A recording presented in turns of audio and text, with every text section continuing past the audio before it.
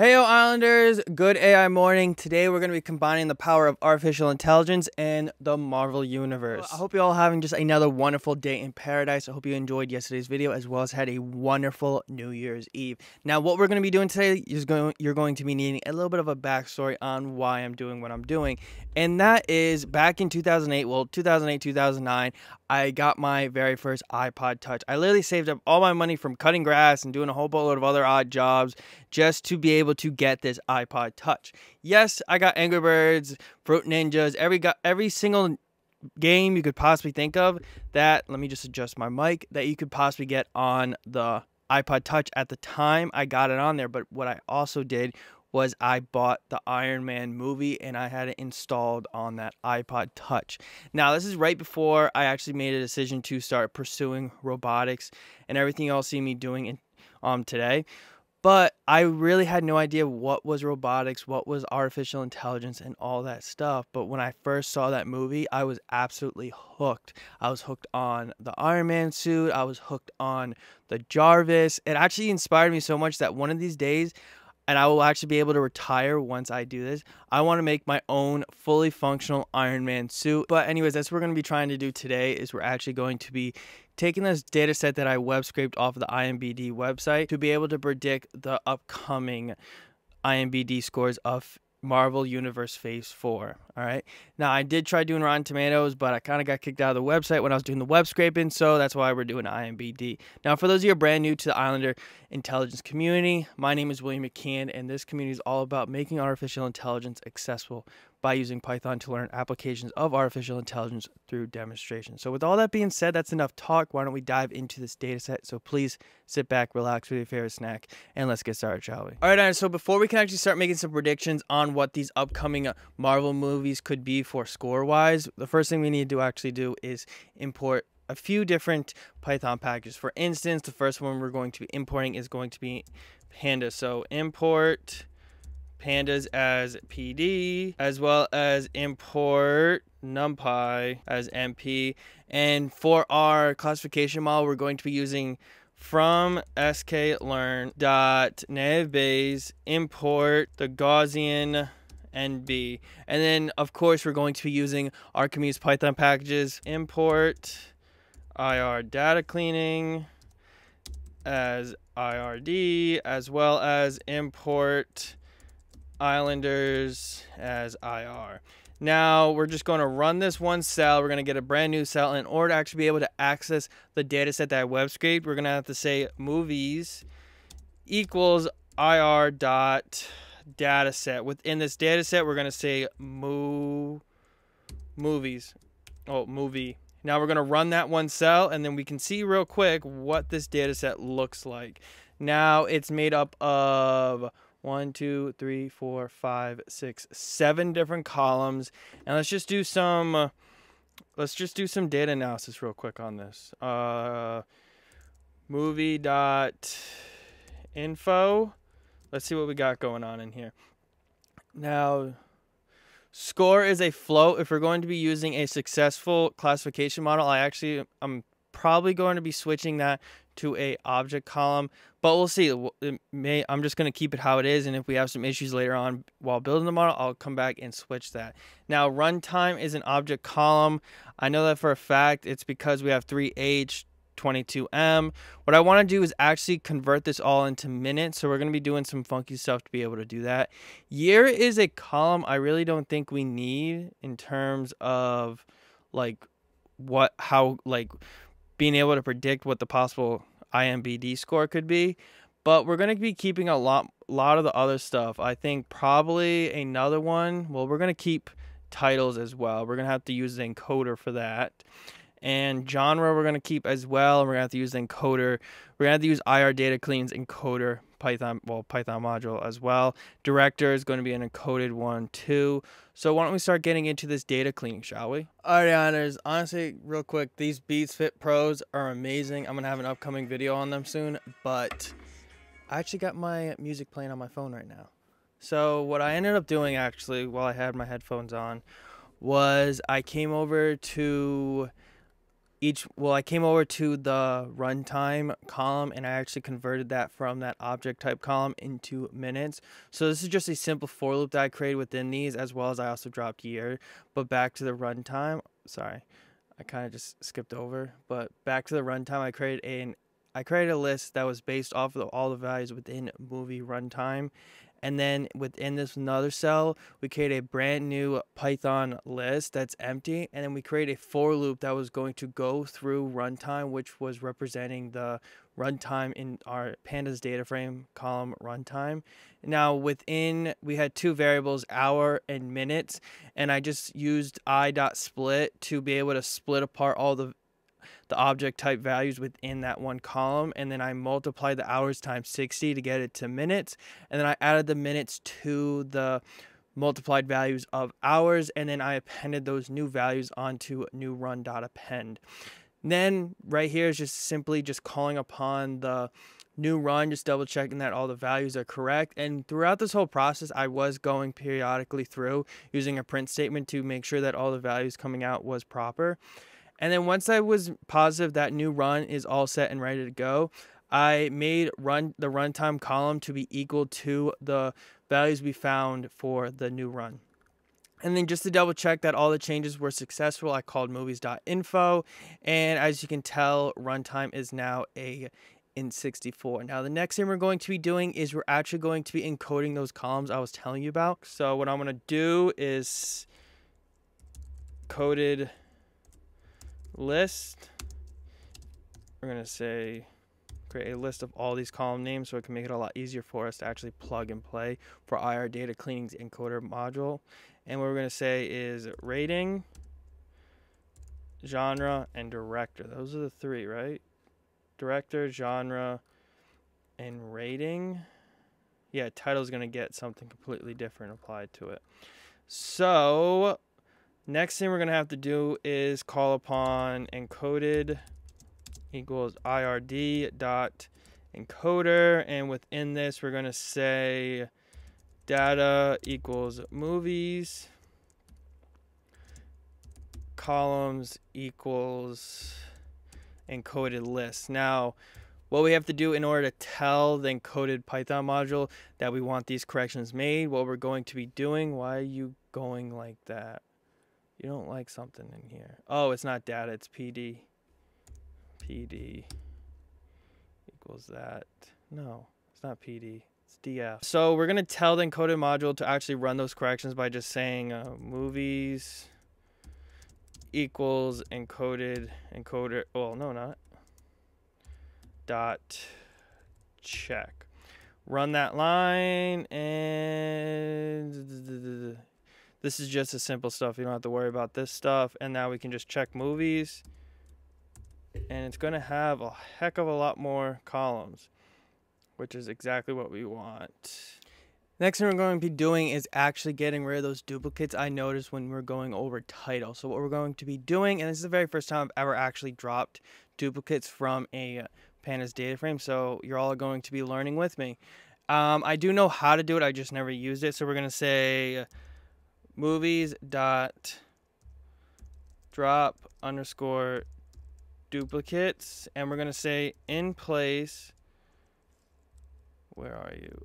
Oh in place equals true. Run that one line and let's just see if this actually made got rid of those duplicates. Movies dot title dot value underscore counts Boom, boom. Let's check it out. No, it didn't. So I wonder, do we have to do... Uh, what I'm going to do now, everyone, is actually create a brand new data frame and see if I can say pd.drop duplicates and see if that works. If it doesn't work, I'm going to have to figure out how to use this one pandas method. So what we're going to say is just dropped dup equals pd dot drop duplicates, and I think this is actually the way you're supposed to do it.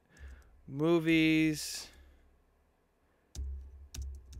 in place equals true. Alrighty, so give me all a second and I'm to figure out how to actually use this correctly. Alright, so I figured out how to actually be able to use the drop duplicates pandas mod. I don't know why I mixed that word up. I figured out how to use the drop duplicate method, and that is we have to specify the subset. The subset is really what's going to be the column that identifies where the duplicates are. In our case, it's going to be titles. So that's why within these brackets we have title. And the next thing we have to do is we have to tell the drop duplicates which one to actually keep. In my, our circumstance, I'm going to tell the drop duplicates to actually keep the last one. And then we're going to say in place to make sure that all the changes that are being applied to this pandas dataset is actually applied well it's actually kept when we go on to the next line. And really when you don't do that i found out when you don't specify these two input arguments the subset as well as the keep it doesn't actually run. It's just like calling nothing. So once we have this we can now actually call upon we can actually do some natural language processing. That's what nlp stands for. So the method that we're going to be using and there's several different types of method is going to be the tf-dif and that's from well, sklearn dot feature extraction dot text import tf was it? Oh not import tf dif vectorize the next thing we're going to want to do is actually create an instance of tf dif vectorizer and tf dif vectorizer. We're going to do that. And then what we're going to be, oh, oh, I need to add something real quick. Command C, copy this real quick. And then what we're going to be then doing is now actually making those corrections. We don't want to actually be passing in the whole pandas data frame because what it's going to do is be splitting apart each individual string, looking at what are the values within those strings. And it's going to take out certain words that are just like kind of nothing and then there's going to be certain words that really stand out. But we don't want to be passing in the whole pandas data frame. We just want to pass in a co one column at a time. So we're going to say uh, new drop equals tfdif dot fit transform, and we're going to be passing in movies at title all right and the next thing we want to do because right now it's essentially not really if we were to run this just right now let me just show you all. New drop it's just going to come up like that a sparse row format. So what we have to do in order to convert that sparse row into something we can read it's going to actually be converted into a numpy array. We're going to say dot to array run that line and as you'll see it's a really big panda well it's a really big numpy array. And the reason why i know it's a numpy array is because we can just do type new drop. Right, it's going to be a numpy.nd array. Now, in order to be able to get all the vocabulary that is being used inside this tfdif vectorizer, what we're going to want to do is just say tfdif vocabulary and it's going to give us all the words. So the next thing we're going to want to do now is actually take this numpy array and add it on to the old data set. So what we're going to actually do is just say new movie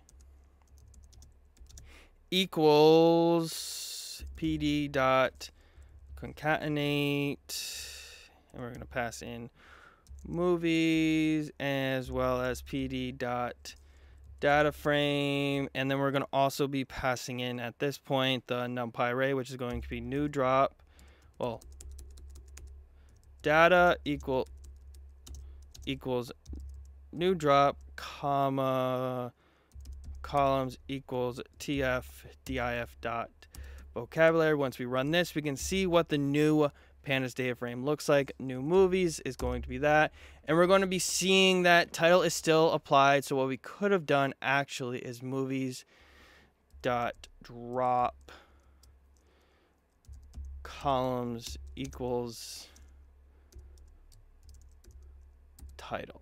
Run that and now that column is now taken out. What I do want to do is we're going to be creating classes for our classification model, our Gaussian NB, and what we're going to be doing and how we're going to apply those classification is we're going to actually be looking at the score. We're going to be splitting out from essentially from a score from 9 to 10, um, eight to nine, and so on and so forth. So I'm gonna take a couple of seconds, figure that all out, and I'll pull you all back once I have something that's finalized. That'll be easier for me to explain to all of you. Alrighty, Antlers. So in the last section that we're just going over with the TF-DIF, I actually made one boo-boo, and that is that I use PD concatenate.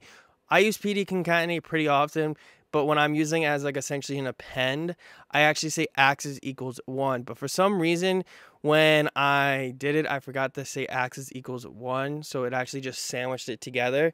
And then the next thing that also happened is when I went back to correct that mistake and I said axis equals one, for some reason with how this data set's set up, pandas doesn't like that. So I ended up having to go back into was just using pandas built-in append append method by simply creating a brand new numpy array called NLP.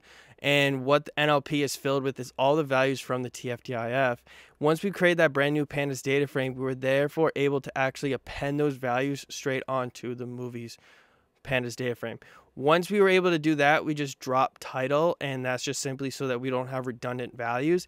And it's going to give us a data set that looks just like what you see right here. All right. Once we have that data set all set up and ready to go, now we can actually start making those categories. And what I ended up doing was just making some simple categories where between one and two, if the values were anywhere between that, it would be considered which category. This one right here. If it was less than or equal to one, then it would be considered part of this category.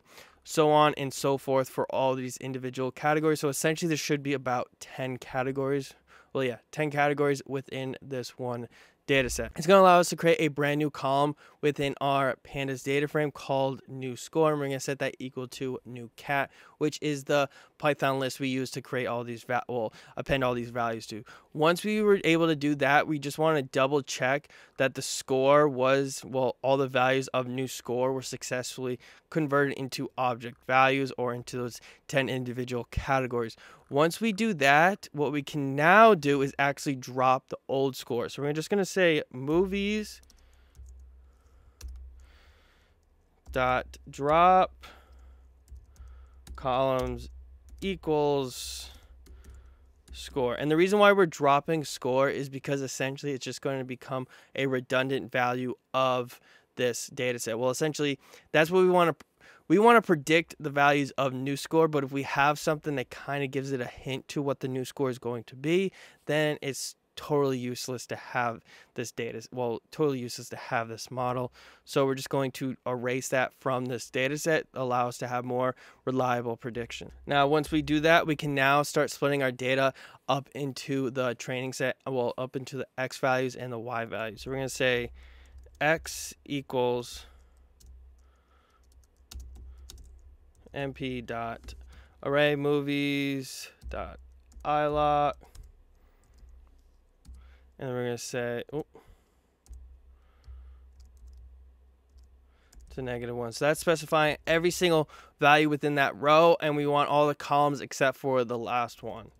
And we're going to say dot values. All right now the next thing we're going to say is y equals np dot array movies iloc all the rows within the last column dot values and now we can run this one thing and I did forget to import one python package and that python package is from sklearn dot what it model selection import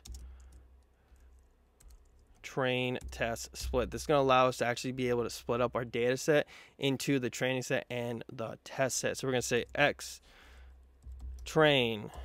X. Test. Y. Train. Y.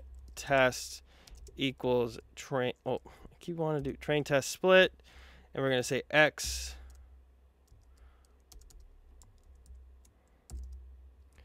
Y. Test size equals 0.2 run that and now we can actually create our model so what we're going to do to create that model is just going to be uh, let's say GNB equals Gaussian NB. Nothing has to go within those parentheses. And the next thing we're going to say is GNB dot GNB dot fit. And we're going to pass in the values of X train and Y train. Once we do that, we can now get a score just to double check that everything's all set. So GNB dot score X test Y test. Let's see what we get. 45. Surprise! Yeah, boy! Oh, snap. You didn't know? That's really bad. Let's try messing around with this real quick. 36.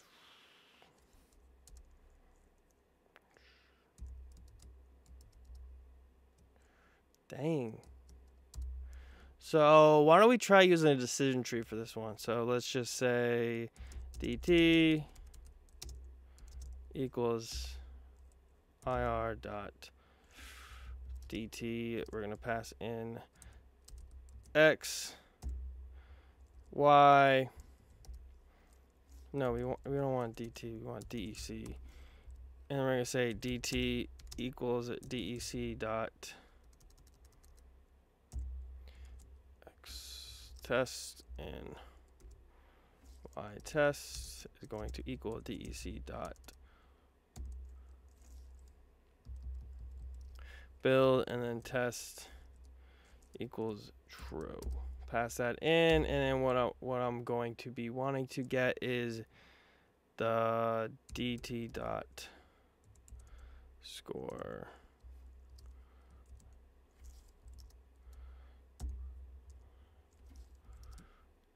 This is probably gonna take a sec, so let's fast. All right, uh, so it's actually the next day, and what was going on just a couple of seconds for all of you was that I was trying to be figuring out how to get a more accurate model. What I ended up learning was that a don't be messing around with stuff when you're about to pass out at the computer because I was super exhausted during that section, as well as the data set is going to what i realized also is that you can't force the data set to be how you want it to be a data set, um, in my opinion, now after going through all this, is more of a living thing. And what I mean by that is, let me switch over to the data spell. I tried every type of classification model I could possibly think of, and none of them came out with very good results. I tried the Gaussian NB like we tried at the beginning, our decision tree, Python method, our another type of native Bayes. Actually, I used every type of native Bayes that you could possibly think of. Well, they had the accessibility to be able to use with sklearn at the time of this recording, as well as I tried the random for forest classifier. But what I ended up realizing after messing around with this, as well as getting a really good night's sleep, is that this this dataset is not a classification dataset, it is a regressor dataset. And once I figured that out, I got a regression score of 0.52. So I ended up using decision tree regressor. It's much like the decision tree classifier, except it's it's built to actually design well, it's built to output regressive models. I don't like using linear regressor or any like those type of regressing models. I like using decision tree or random forest regressors because it's a very adaptive regressor model. So what we want for a score is as close as possible to zero as we can get. And we got 0.0524. That is honestly a really good score. But what ended up happening, well, what ended up happening was two things in order to get this. I had to switch some stuff around. I couldn't actually use, where are you? I couldn't actually use our classification function that we created right here. And the reason being is because we're using a regressor model, not a classification model. So therefore, this had to go out the door and the old score had to stay in place. Now, another thing we had to do also, and I did this off camera to make it faster, is that I went up online, found the next Marvel movie, which is going to be the Morbius movie. Honestly, I'm really excited to see that. But that is the next movie that has all of the information needed to make an accurate prediction, which is the title of the video, the rating, the runtime, the year that's going to be presented, which is January 28, 2022. So make sure you put that in your calendar, as well as the director. All the other Marvel videos that are going to be part of Phase 4 don't have as much information as the Morbius movie does right now. So that is why what we're going to be doing is going all the way back up to the top to add the Morbius video into the main data set. So what I ended up doing is, let me see if I can find where I added you is right here. I create a brand new Python dictionary where I filled it with all the information for Morbius, the title, the rating, the runtime, the genre, and the director, as well as I then turned it into a pandas data frame. Now, the reason why I'm going through all this effort to add it at the beginning is so that way it gets data cleaned the same exact way as the rest of the data. But what you'll end up noticing is that when it comes to splitting up our data set into the training set as well as the testing set, what I ended up doing was excluding that one last column right here. All right. So X equals NP array movies iloc all the all the rows except for the very last row and then all the columns except for the very last column and then the same thing for y except it's going to be all the rows of the last column except for the very last row. So therefore what i ended up doing with the morbius information that was excluded from the data set was i just put it into the predicted movie df and then also i had to reshape it to allow it to be looking like this because if we were to run it just like this let me just show you real quick. Um go like that and then we're just going to run this one line, it's going to come out like that. If we were to plug this into any machine learning or artificial intelligence model, it would not like that format, which is why we reshaped the data to look exactly like this right here. Now, once I was able to do that, I just put everything else regularly how I would normally do it with the train test split, and then therefore allowing us to be able to get a prediction where our our regressor model, our decision tree regressor, is going to predict that the IMBD score for Morbius is going to be at a 6.6. All right, as you all heard it here first, our model is predicting that the Morbius movie will get a IMBD score of about 6.6. Honestly, I think it'll be really exciting if that is actually what the IMBD score will be for the Morbius movie regardless, I cannot wait to see that movie. I'm a huge Marvel fan. And as well, let me know down in the comment section down below what is your favorite Marvel hero? I cannot wait to see. For me, it is Iron Man, as you all can probably tell by the thumbnail as well as if you want to learn more about artificial intelligence go ahead and check out the videos popping up on the screen. Or if you want to get your hands on the pip commands that we worked with in today's video go ahead and check out the description bar down below where you'll also find the link to the notes for today's video. Don't forget to laugh it really does help with the programmer's headache and i'll see you all in the next video. Bye